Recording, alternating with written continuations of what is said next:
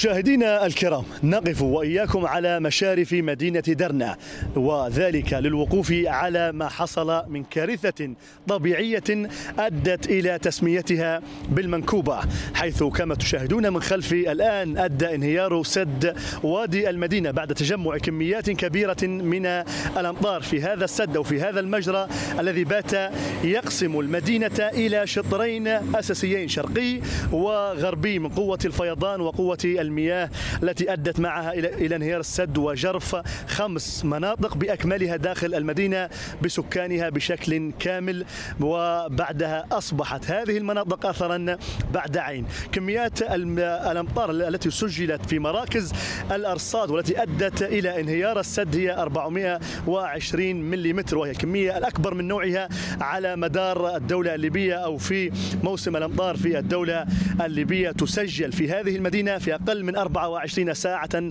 فقط. نسبة هذا الفيضان أو قوة هذا الفيضان التي أدت بالكامل إلى انتقال المباني إلى شاطئ البحر وحتى وصلت إلى شاطئ البحر وانهيار وغرق بنايات بأكملها تسجل أو كما يقول شهود عيان بأنها وصلت إلى يعني أدوار علوية من البنايات. مستواها أو طول هذا الفيضان كان أكثر من أربعة مترات.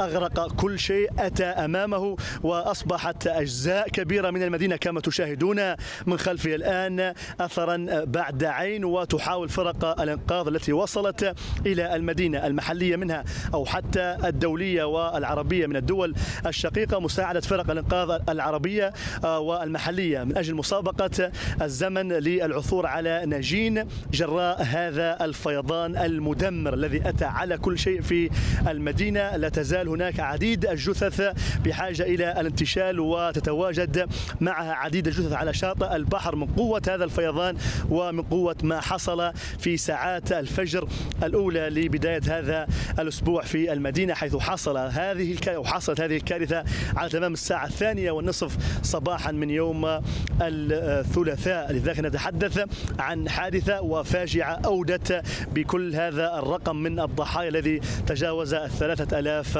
ضحية. محمد مسعود العربية. درنا.